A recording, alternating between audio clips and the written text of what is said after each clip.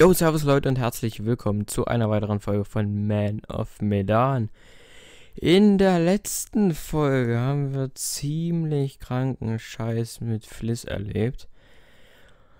Und dazu ist aber auch Brad wieder zurückgekehrt. Er hat sich auf der auf dem kleinen Kackboot, mit dem wir hierher gekommen sind, hat er sich versteckt und ist nun also wieder mit von der Partie von wem jedoch immer noch jede Spur fehlt, ist Conrad. Und nun sind wir also auf dem Weg, immer noch die anderen zu suchen, und zwar mit Julia und Alex. Achso, und das Kapitel übrigens heißt Im Wasser. Weiß ich jetzt nicht, was das bedeuten soll, aber hinter uns steht auf jeden Fall einer. Und wo haben die auf einmal Schuhe her? Olsen!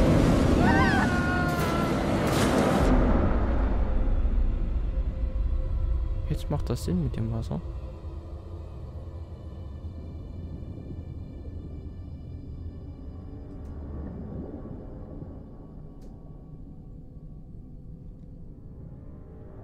Ich glaube, ich soll hier ganz schnell mal irgendwie raus oder so. Da war was.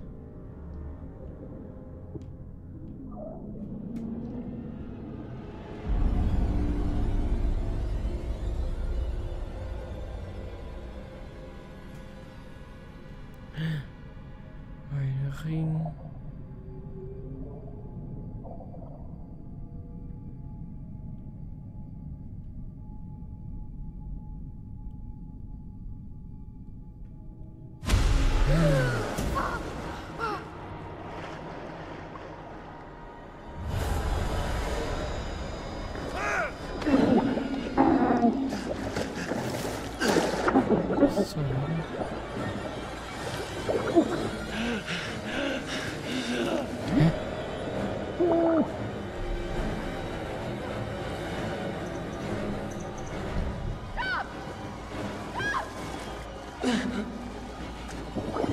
Hä?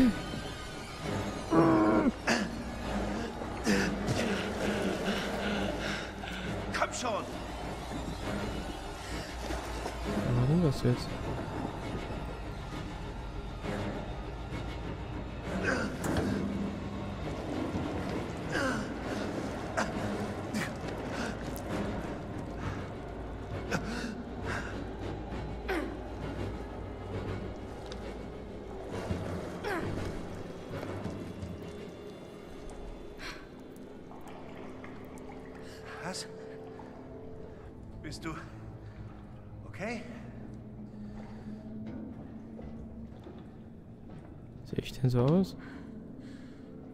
Danke, Was? das Junior? wär's gewesen. Wir müssen weg. Er ist noch da, dieser Typ.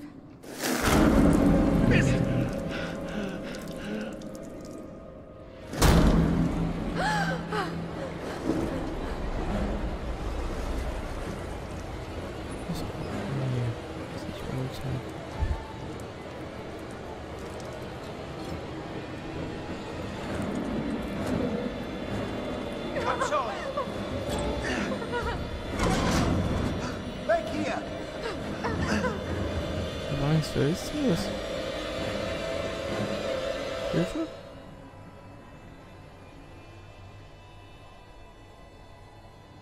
Hä?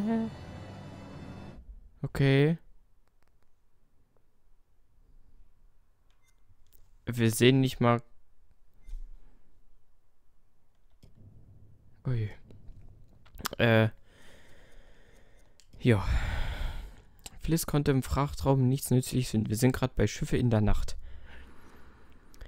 Brad fand den Maulschlüssel über dem Frachtraum. Später traf Fliss auf einen vermummten. Sie wich dem Zepterangriff aus und lief davon. Ach, wir hätten den bestimmt damit schlagen können. Das Küchenmesser. Alex fand ein Messer in der Küche und behielt es. Sie stiegen aus dem Wasser, dann schnappte etwas, das wie Alex aussah, sich das Messer und jagte Alex und Julia. Oh. Also es ist doch eine Kopie wie Alex.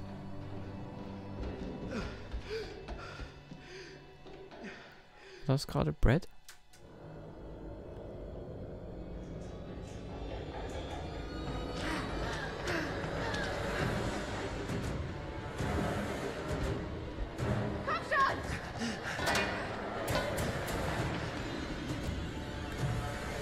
Es ist eine Kopie von dem, aber wie ist es möglich?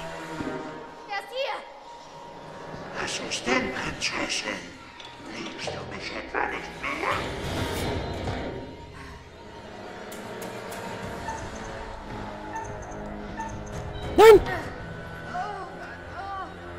Warum muss ich denn jeden Schritt Bewegung!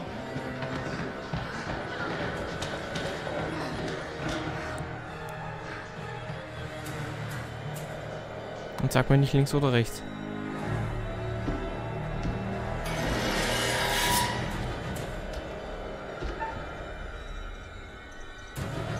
Springen.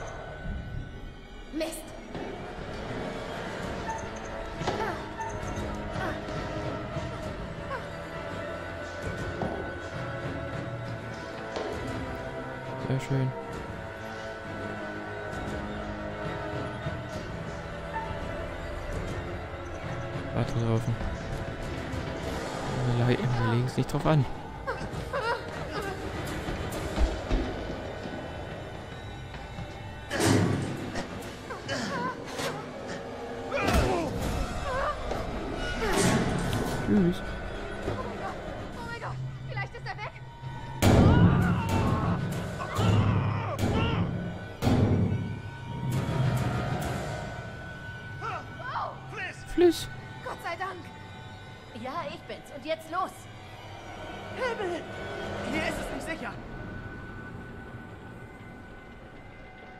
Alle leben.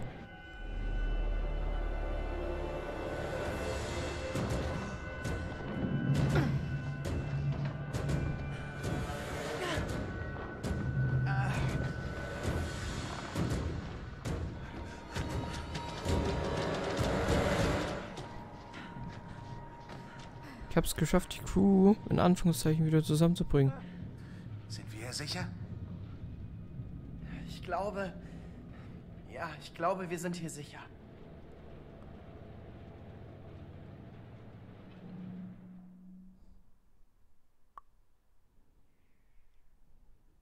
Psychoanalytiker? Ey! Oh, hallo. Es gibt eine Wendung spiritueller Natur, nicht?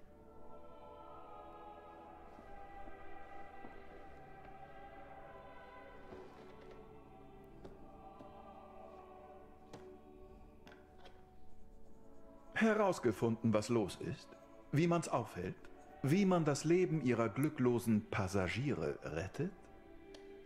Sicher, hoffe ich. Obwohl die vorigen Schiffspassagiere daran wohl gescheitert sind.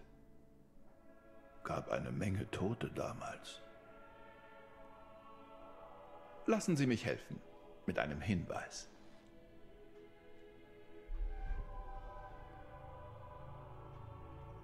Okay, ich, äh, ich nehme jede Hilfe an. Nun dann, wie sag ich das nur? Womöglich sind hier Kräfte am Werk mit einem wissenschaftlichen und vielleicht auch einem politischen Hintergrund, nicht übernatürlich. Vielleicht begreifen Sie langsam so einiges?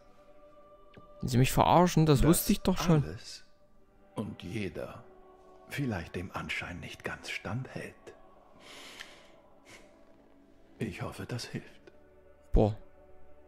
Und wollen Sie nicht gern herausfinden, was Ihre glücklosen Seelen von all dem halten und wie Sie vielleicht weitere unnötige Tragödien verhindern? Na los, weitermachen. Bis bald. Ich will dich, um ehrlich zu sein, nie wiedersehen. Wow. Ich bin schon wieder Julia. Was ist nur auf dem verdammten Kahn los? Ich habe echt das Gefühl, dass da irgendwas. Irgendwas ist, was ich nachgucken muss. Und zwar beim Kurs. Das Küchenmesser. Alex fand ein Messer in der Küche und behielt es. Sie stiegen aus dem Wasser, dann schnappte etwas, das wie Alex aussah, sich das Messer und jagte Alex und Julia. Alex und Julia konnten dem Ding entkommen, das aussah wie Alex.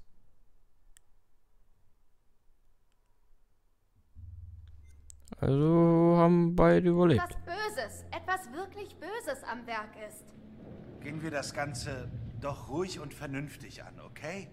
Was ich dort gesehen habe, da waren diese alten Soldaten. Sie lagen überall. Sie waren tot, doch dann standen sie auf. Das. Das klingt gerade gar nicht mal so verrückt. Alex war nicht der einzige Alex. Wovon redest du da? Da liefen so Dinger herum mit seinem Gesicht. Mit Alex Gesicht. Es war so furchtbar. Julia. Ich würde doch nie. Das weißt du doch. Ja, ich weiß, aber Das kann doch alles nicht wahr sein. Eins davon vielleicht. Aber doch nicht der ganze Scheiß. Das kann kein Zufall sein. Hier muss doch irgendwas vor sich gehen. Was wissen wir denn jetzt sicher? Was ist real?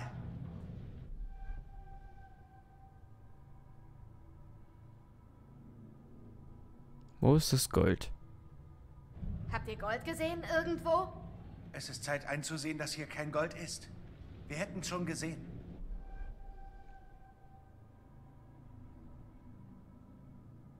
Was ist hier noch passiert? Was denkt ihr, ist wirklich mit dem Kahn hier passiert? Keine Ahnung. Die Zeitung war von 1947. Dieser Ort ist eindeutig seltsam. Das ganze Schiff ist seltsam. Dreckig, stinkend, seltsam. Und ich hasse es. Dieser Ort ruft einfach total schlechte Gefühle hervor. Wo ist die Crew? Was ist mit der Besatzung passiert? Wo sind sie alle? Das hier ist mehr ein Mausoleum als ein Schiff. Woher stammen die ganzen Leichen? Die sehen aus, als wären sie vor Angst gestorben. Wir wissen mehr als vorher. Wenigstens etwas. Die Zeit wird knapp. Wir müssen uns jetzt entscheiden. Wir müssen hier weg. Ohne die Verteilerkappe kommen wir hier nicht weg. Wir brauchen sie. Moment. Hier muss doch ein Funkgerät sein. Das könnten wir benutzen. Ja klar, sofern es noch funktioniert. Mal sehen, wie wir darauf kommen. Oh, wollte ich nicht. Aber jetzt beginnt's interessant zu werden. Beziehungsweise es war die ganze Zeit davor eigentlich interessant. Und auf geht's mit Alex Richtung weg. Kein Witz. Ich glaube, äh, wir sind komplett am Arsch. Sag bloß.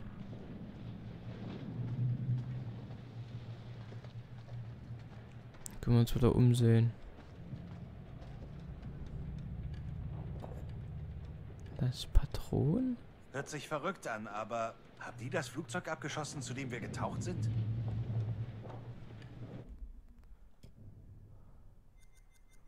Oh.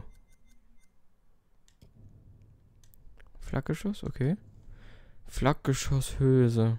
Eine Patronenhülse, die nahe einem Geschütz auf dem Schiff lag. Das Geschütz wurde abgefeuert. Update?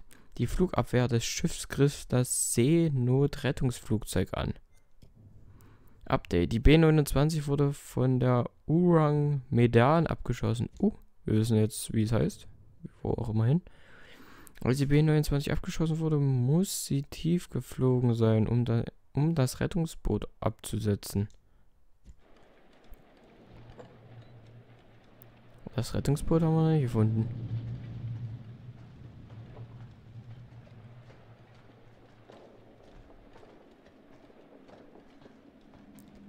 Also, er hat uns ja das, den Tipp gegeben, hier, hier ist nichts Übernatürliches, was uns verfolgt. Es sind eher politische und wissenschaftliche Hintergründe, hier das machen. Toll. Die wären nützlich ohne die ganzen Lecks.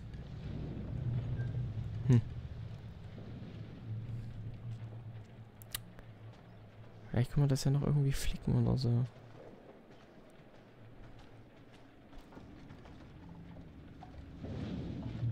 Ich weiß nur eins, wir müssen hier runter. Und das so schnell wie möglich. Vielleicht auf der Seite noch irgendwas.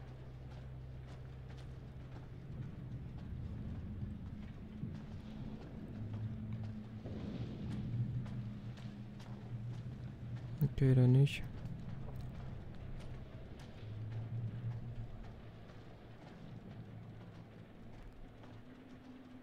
Geht's darauf? Leider nein, aber ich halte meine Augen offen. Mhm. Mach das mal. Da ist was. Kommen wir da hoch? Hey, wie wär's mit etwas Hilfe?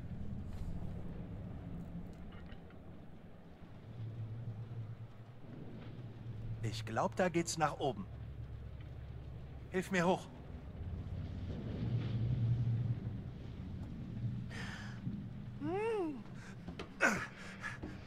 Dankeschön.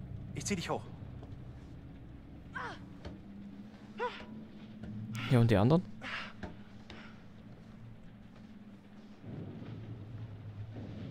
Oh, okay. Die anderen werden mitgenommen.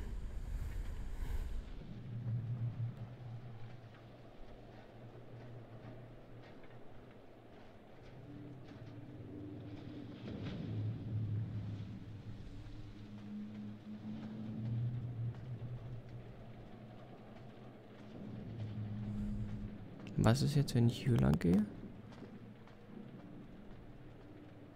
Ah. Nichts. Okay.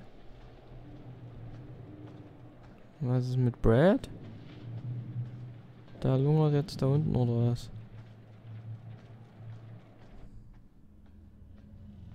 Ob das so schlau ist.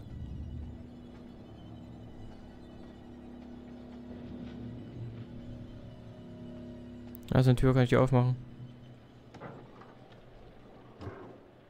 Hier drüben. Hier kommen wir durch.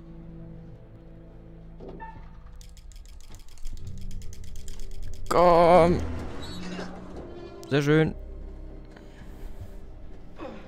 Alle rein da, alle einmal sterben, bitte.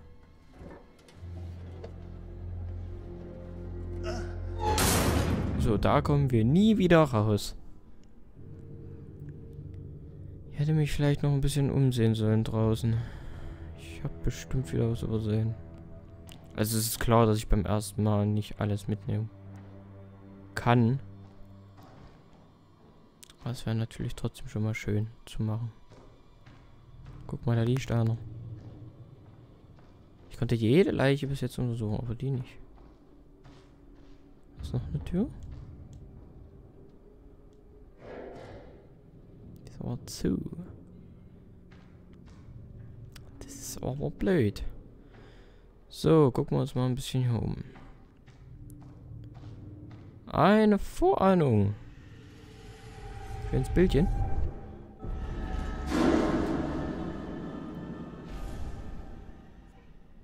Was? Tickende Zeitbombe.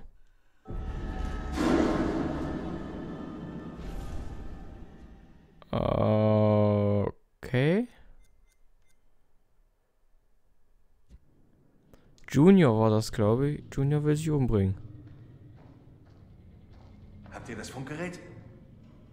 Nein, aber es muss ein Funkgerät auf dem Schiff geben. Da muss ein sein. Ich bin nicht sicher, wie unsere Überlebenschancen zurzeit stehen. Hier stimmt was nicht. Wenn man nach San Francisco will, ist diese Route total verrückt. Sieht so aus, als wollten sie sich anschleichen. Ein Versteckspiel. Auf dem Ozean. Geheimnis gefunden. Karte. Das wird immer krasser. Ich weiß nicht, ob ich das will. Aber so langsam kommt die Geschichte ins Rollen.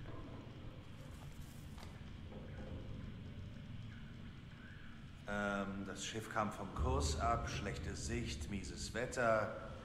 Sie verloren die Orientierung. Ja. Hat er im Prinzip alles zusammengefasst, was da stand.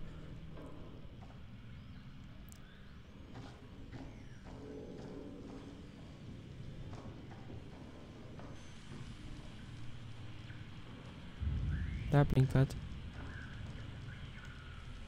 komm, nimm's dir. Ja, Danke. ekelhaft. Armen Kerl hat es wohl mitten in seinem Funkspruch erwischt. Notruf abgesetzt, Funkausfall SOS per Morsecode versucht, viele der Crew tot. Klingt echt verzweifelt. Ich sterbe.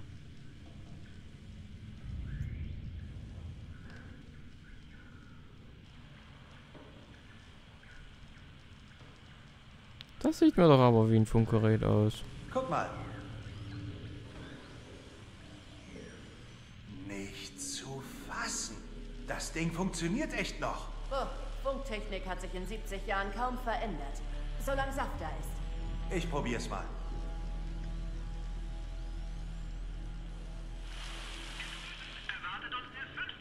Ah, es geht doch. Noch ein Stück. Ein Zahlensender.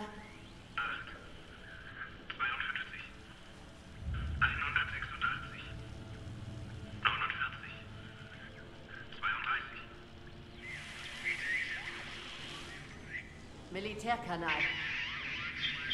Fragen wir nach Hilfe. Hey, hey, hört das jemand da draußen? Hallo?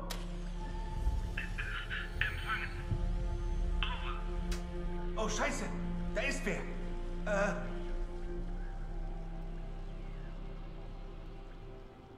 Äh, sachlich bleiben. Keine Panik. falls uns jemand hört, wir sind auf einem alten Frachter. Unsere Koordinaten sind ungefähr äh, 12 Grad 30 Minuten Süd, 151 Grad 20 Minuten West. Bitte, kommen Sie schnell. Wir sind in Not.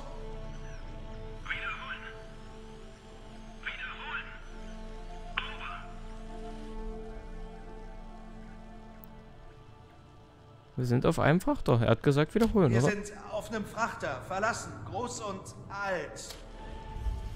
Hallo, hallo, hört mich jemand? Bitte kommen.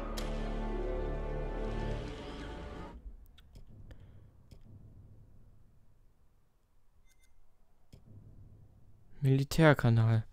Fliss fand eine Kapitänsmütze. Darauf stand ein Name mit G am Ende und danach mit an. Die Gruppe fand ein Funkgerät und nahm Kontakt mit einer Militärstation auf. Sie gaben ihre Koordinaten an.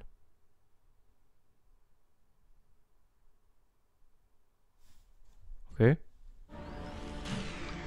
Oh. Wir sind gerade motiviert, entspannt, selbstlos und begeistert. Ja, begeistert bin ich ganz sicher. Hey, seht mal hier!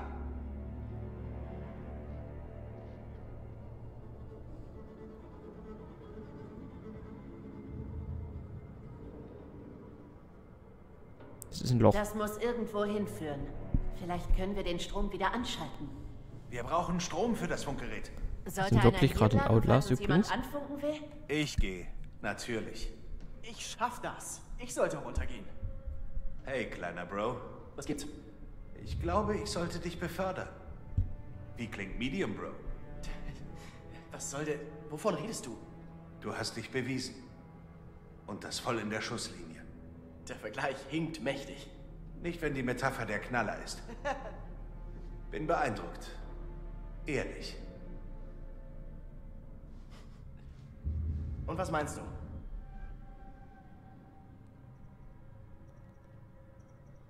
Wenn er sich sicher ist. Er hat gerade gesagt, er hat sich bewiesen. Also, von mir aus. du dir sicher bist, ich glaube, du packst das. Fuck. Komme mit. Hey, was? Julia, nein. Ah, du kannst nicht ewig den Beschützer spielen, Großer. Ich schaff das. Glaub. Fuck, fuck, fuck, fuck, fuck. Ich bin hier Ich habe mich gerade in die Vorahnung erinnert, wo. Brad erstochen der wird. Captain sagt, ich komme definitiv mit. Okay, Fliss. Bereit?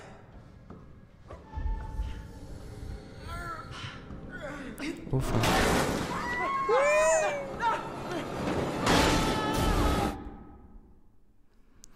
Und wie das Ganze in der nächsten Folge weitergeht, ja, erfahrt ihr morgen dann. Ich bedanke mich ganz herzlich für eure Aufmerksamkeit, wünsche euch noch einen traumhaften Tag. Sorry für den Cliffhanger, aber ich will natürlich auch ein bisschen die Spannung oben halten. Habt noch einen traumhaften Tag. Wir sehen uns das nächste Mal wieder. Tschüss und auf Wiedersehen.